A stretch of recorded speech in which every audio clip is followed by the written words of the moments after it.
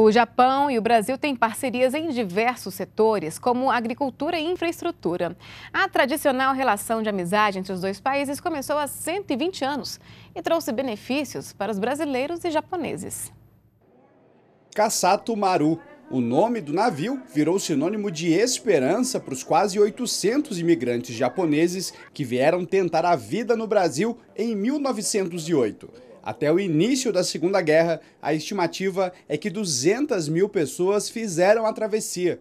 A viagem só foi possível porque os dois países assinaram o Tratado de Amizade, Comércio e Navegação em 5 de novembro de 1895, 120 anos atrás. A intenção dos primeiros imigrantes, com certeza, foi de vir ao Brasil, trabalhar alguns anos, amealhar alguma riqueza e retornar ao Japão.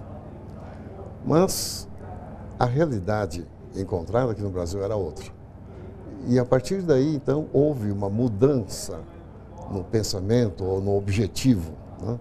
A partir desse momento, já o espírito não era mais de retornar ao Japão, mas de permanecer no Brasil. O início da vida na nova terra não foi nada fácil. Os japoneses foram principalmente para lavouras de café e não eram familiarizados com os instrumentos de trabalho.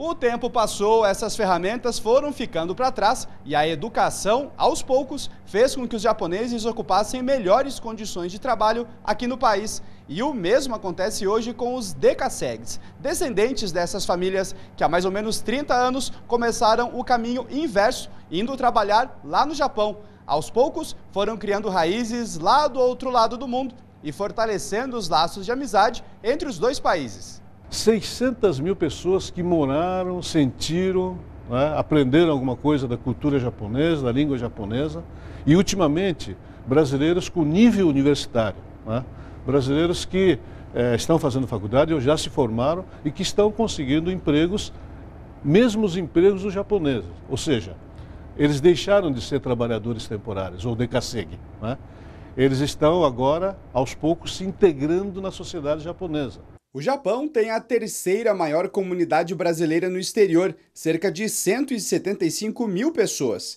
E o Brasil tem a maior comunidade de origem japonesa fora do país asiático, com mais de um milhão e meio de pessoas. Em 2014, o intercâmbio comercial entre Brasil e Japão atingiu 12 bilhões e 600 milhões de dólares. Assim, o Japão foi o segundo principal parceiro comercial do Brasil na Ásia e o sexto no mundo. Na família Kita, que mora em São Paulo, tem todas as gerações. Kiatiro e a esposa Anália são Nikkeis, porque os pais eram japoneses. Já os filhos Alexandre, Rogério e Marcelo, esse das fotos que mora em Hong Kong, são Nisei. E o pequeno Ivan é Sansei, que a tiro destaca a alegria em celebrar os 120 anos do tratado que deu início à história de amizade entre os dois países.